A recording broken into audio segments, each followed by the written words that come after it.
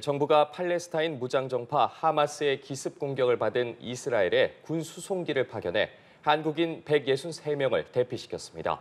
외교부와 국방부는 오늘 공동 보도 자료를 통해 이같이 밝혔는데요. 네, 공군의 KC-330 시그너스 다목적 공중급유 수송기는 어제 한국을 떠났고 현지 시간 13일 이스라엘 텔아비브 벤구리온 공항에 도착한 뒤 14일 자정 무렵 한국으로 출발했습니다.